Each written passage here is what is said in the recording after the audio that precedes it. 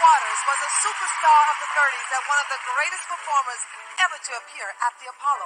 In her earlier years, they called her Sweet Mama String Bean. She was a tall, skinny woman with a majestic voice. A lone spotlight threw an eerie shadow on her face.